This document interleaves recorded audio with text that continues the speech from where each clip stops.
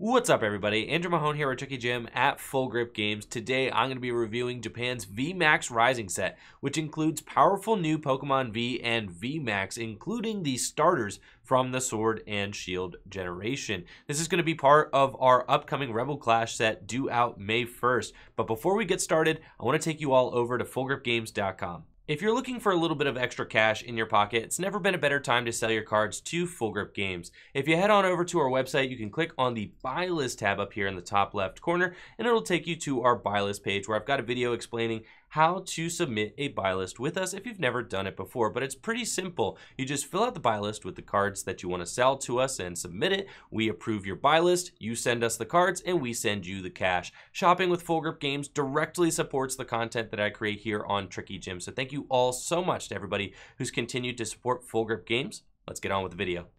First Pokemon that we're going to talk about is Rillaboom V. Rillaboom V has 220 hit points and evolves into Rillaboom V Max, who we're going to talk about in just a moment. It's got two pretty good attacks, though. Forest Feast allows you to search your deck for up to two basic grass Pokemon and put them onto your bench. Then you shuffle your deck, and Wood Hammer does 220 damage for three grass and a colorless, and this Pokemon also does 30 damage to itself. Notably, Wood Hammer is a little bit short of a one-hit KO on Zacian V, since Zacian V does resist grass by 30 damage, but 220 damage is still a respectable amount of damage to pump out for this basic grass Pokemon. Its first attack is what really impresses me though. Forest Feast gets you two grass Pokemon out of the deck and places them straight to the bench instead of to the hand. And I really like that because you can use this attack on the first turn of the game to help set up Grookey's. And Grookey's can evolve into the Rillaboom from Sword and Shield, which is going to be the primary way to accelerate energy onto your Rillaboom V and Rillaboom V Max.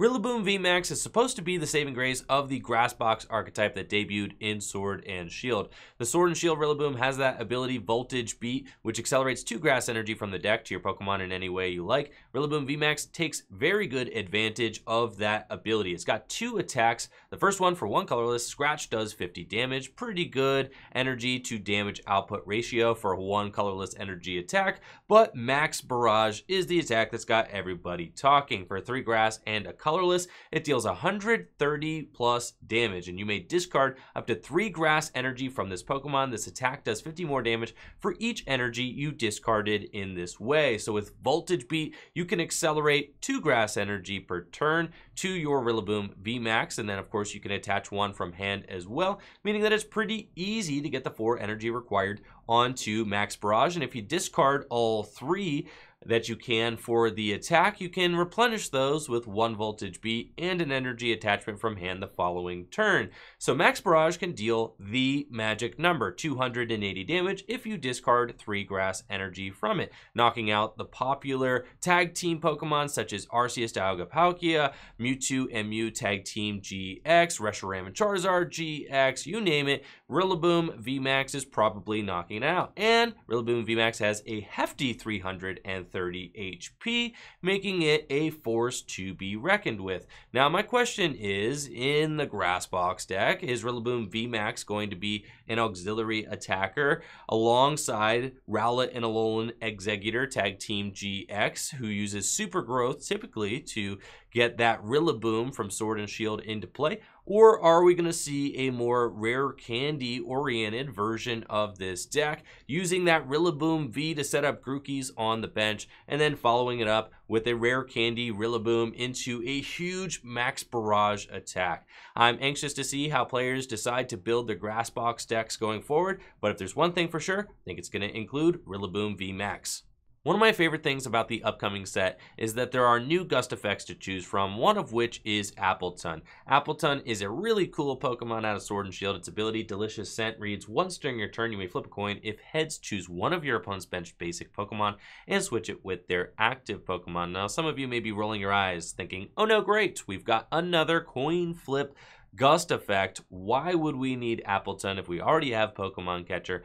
And we got Boss's Orders coming out in our upcoming Rebel Clash set as well. Well, Appletun makes a case for itself because Delicious Scent can be used every single turn. So against a deck like a stall deck or something like that, Appletun's Delicious Scent ability can just be reused and it never runs out. Pokemon Catchers eventually run out. Boss's Orders eventually run out. Appletun's effect sticks as long as it is is in play, and there's no real great way to turn off its ability in standard format. So I think Appletun carves out a niche for itself as far as gust effects go because it stays on the board, and that's pretty valuable. When combing through the set, I tried to handpick cards that I felt like were interesting or worth talking about. Ninetales here has a really cool one energy attack. Hex does 30 damage plus 90 more if your opponent's active Pokemon has an ability. Conveniently enough, Zacian V, one of the most powerful Pokemon in standard format right now, has an ability and is weak to fire. Nine Ninetales' Hex deals a one-hit KO on Zacian V for just one energy, so I think it's worth talking about, and it's got a beautiful artwork, so there's that as well.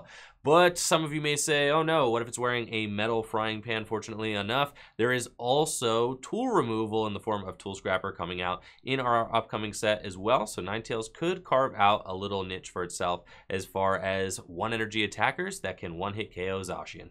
Of all the Sword and Shield Pokemon V starters, Cinderace V and Cinderace V Max arguably inherit the most powerful support in the form of Welder, so they're definitely worth talking about. Cinderace's ability, Field Runner, reads, if there is a stadium card in play, this Pokemon has no retreat. Fortunately for fire type Pokemon, there's almost always a stadium in play. We've got Giant Hearth and Heat Factory, both very powerful stadium cards, giving Cinderace free retreat and allowing it to easily pivot into the likes of Jirachi, which is fantastic for this card's consistency. Its attack, Crimson Legs, deals 140 damage for two fire and a colorless, which is a nice vanilla attack damage to energy cost ratio, and it's got 210 hit points. But Cinderace VMAX is the real card we're going to be talking about. Cinderace VMAX is another huge Pokemon VMAX rocking 320 HP and two pretty good attacks. Its first attack for a fire and a colorless counter does 30 plus additional damage equal to the amount of damage done to this Pokemon by attacks from your opponent's Pokemon during your opponent's last turn. With 320 HP, it is going to be very difficult to knock out Cinderace VMAX, meaning that counter can deal some huge numbers when it takes hits. So you're going to be able to punish your opponent for not one-hit KOing Cinderace VMAX, which is going to be a very difficult thing to do. Grand Fireball for 2 fire and a colorless deals 170 damage, and your opponent's active Pokemon is now burned, so effectively 190 damage, which is pretty good damage output for this Pokemon. All in all, will Cinderace VMAX outclass the other fire mainstays in Standard right now? It's got a lot of competition. There's Reshiram and Charizard, of course, Blacephalon GX, Blacephalon from Unbroken Bonds, Heatran GX. Ultimately, I don't think that Cinderace VMAX has the chops to be able to compete with these other welder targets in the format, but it is a nice evolution card for Firebox decks to have at its disposal and could become relevant one day. Last of the Sword and Shield starters, Inteleon V has got two attacks. Snipe Shot does 40 damage to one of your opponent's Pokemon. Very good. We've seen this kind of attack see success before with the likes of Garchomp and Giratina Tag Team GX's linear attack. A nice little 40 damage snipe can easily KO Ditto Prism Star, which is a very popular Pokemon in our standard format right now, and also soften up Big Pokemon V or Pokemon V Max, as well as Tag Team Pokemon GX. Aqua Report for two water and a colorless deals 130 damage and your opponent reveals their hand, playing along with that kind of secret agent theme.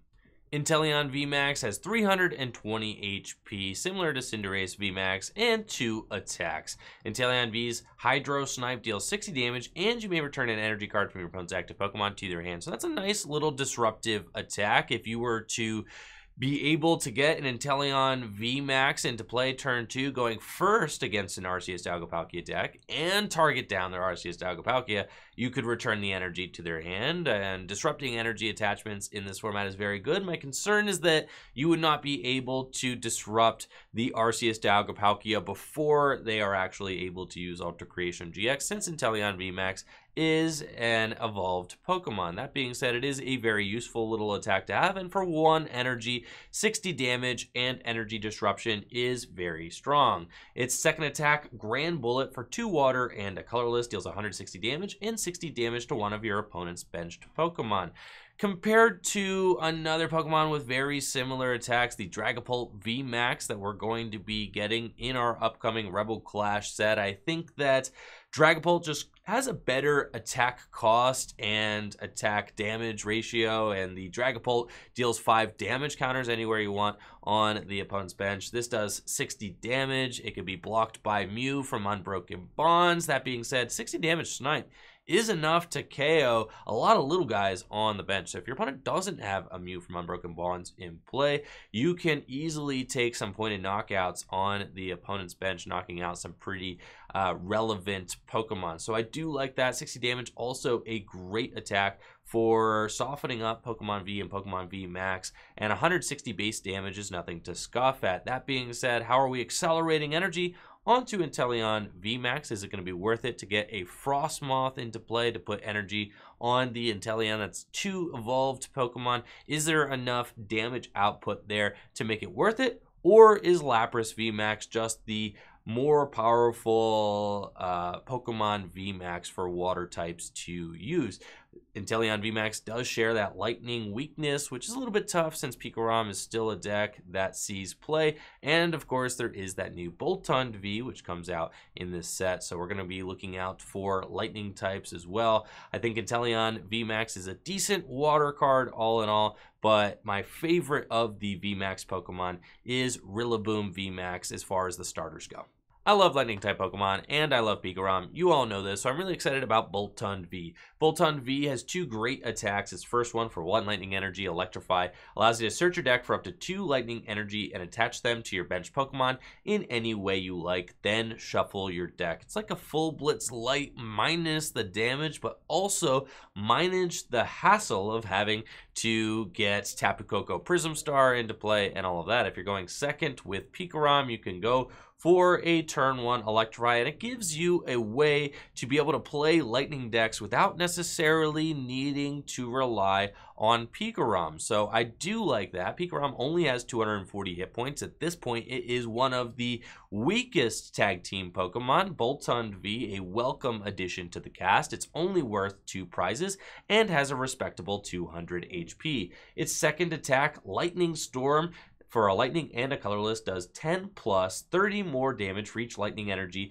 you have attached to your Pokemon in play. So these two attacks go together beautifully. You accelerate energy into play with Electrify, then maybe you can full blitz from there, and then you can lightning storm for huge numbers. You do need a lot of energy in play, but of course we've got Electro Power as well to help boost these numbers. I think that Boltund V is going to be a card that sees a lot of play with lightning type decks. There's even a Vikavolt in this set, which does more damage for the amount of lightning energy that there are in play. So I think that this is going to be a card that sees a lot of traction. It could get free retreat as well with Zeraora GX. There's just a lot of lightning support out there, and Boltund V is going to be happy to inherit it.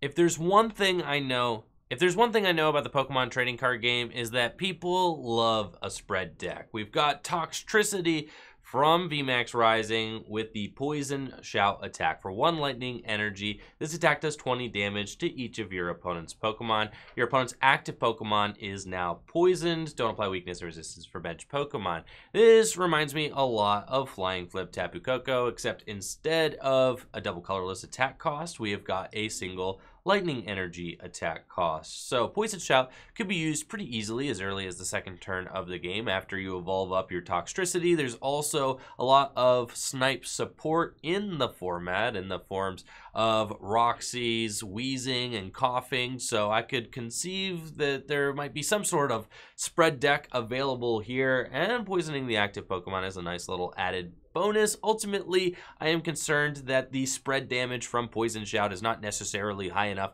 to be able to compete with the huge amount of hit points that Pokemon V and Pokemon V Max have, but I thought I'd mention him. Do you like flipping coins? I love flipping coins, and so does Galarian Cursola. Its ability Perish Body reads if this Pokemon is your active Pokemon and is knocked out by damage from an opponent's attack, flip a coin. If heads, the attacking Pokemon is knocked out. It's the same ability as the fainting spell Gengar from Stormfront, and that Gengar saw a lot of play. Galarian Cursola being a stage 1 is even easier to get into play and is a great wall that can take bonus prizes. Now its attack is not that great. For a Psychic and a Colorless corner, only 60 damage, and the defending Pokemon can't retreat during your opponent's next turn. A lot of decks are playing a high switch count in order to accommodate for Jirachi and Stellar Wish, so corner isn't really going to be trapping anything in the active that often. Now, Cursola does act as a formidable wall and can take bonus knockouts, so that is very valuable. And I think if Cursola does see any play, it's going to be in more of a hit and run style deck where Cursola is the wall that you run to with a more formidable attacker.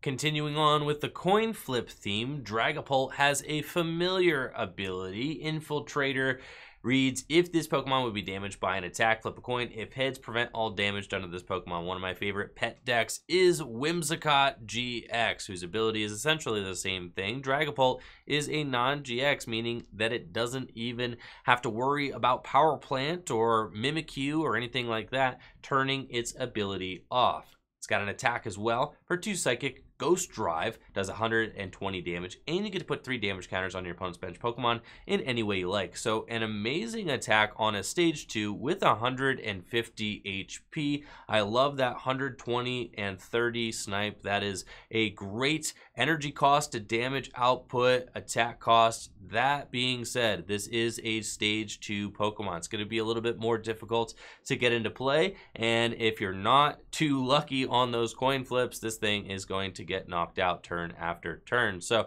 it's a little bit of a high roll concept, but if you're feeling lucky, maybe you'll give Dragapult a shot. It's so sad what they did to fighting type Pokemon. What a fall from grace. Y'all remember Buzzrock? Buzzrock ruled the format for like an entire year.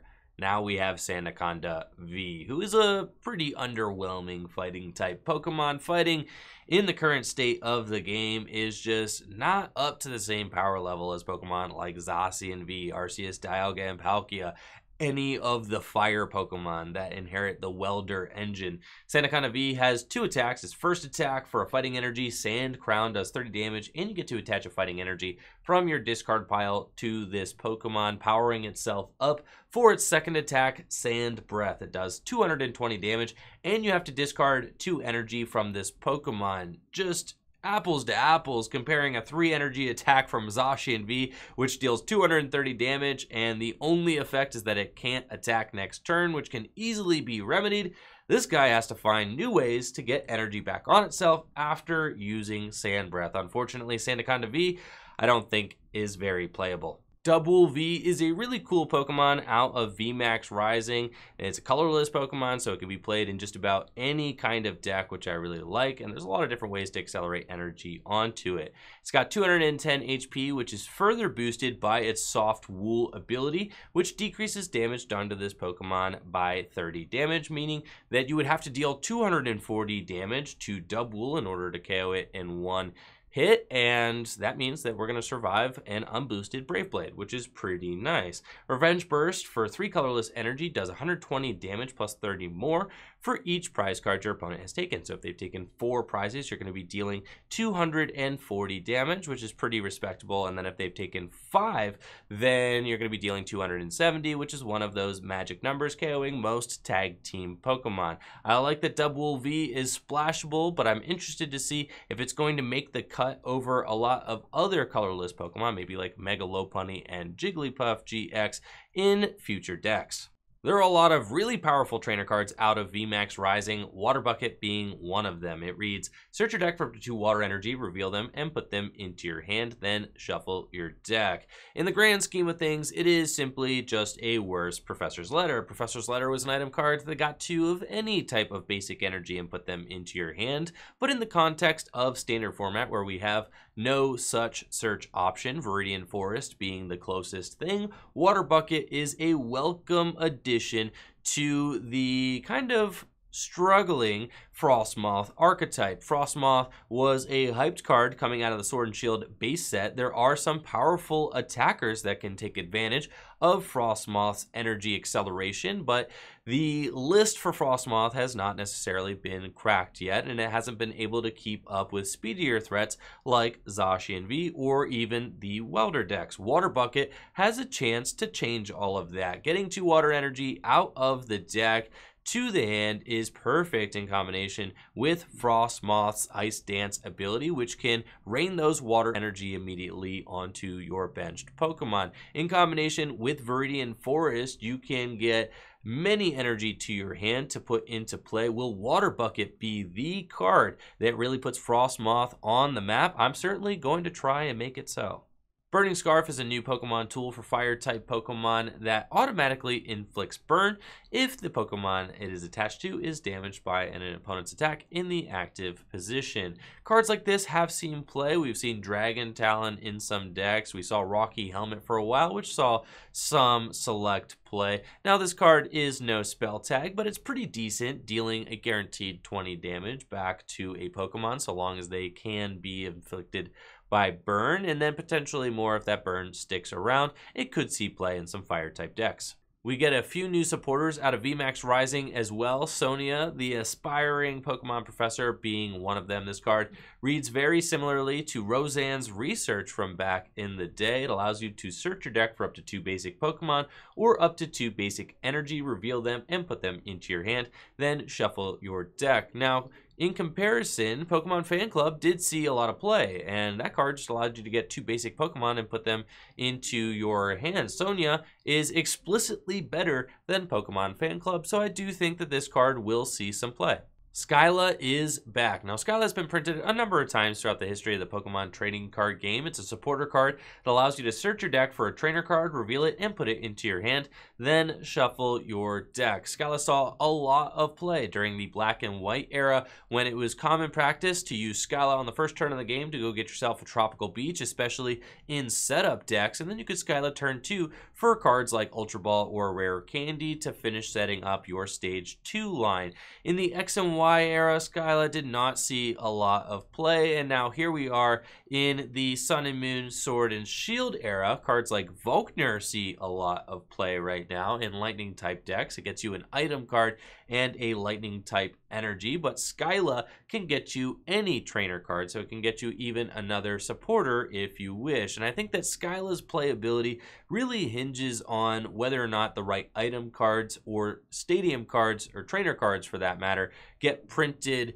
for Skyla to take advantage of. For instance, if Tropical Beach was reprinted, Skyla would be a fantastic card to go search out Tropical Beach turn 1 and help set up stage 2 decks like it did during the black and white era. But so long as Tropical Beach is not legal in standard format, usually we're going to be relying on Zacian V for that Intrepid Sword ability. Now you could Skyla for the Quick Ball to go get that, but I, I'm not sure that Skyla is necessarily going to be fulfilling that same niche that it used to in the black and white era, but it's worth mentioning, and the card does have potential. It's just really about does there exist the cards for Skyla to take advantage of for it to be the most effective. Poor Milo. Milo is just not all that great. Allows you to discard up to two cards from your hand, then draw twice as many cards as you discarded.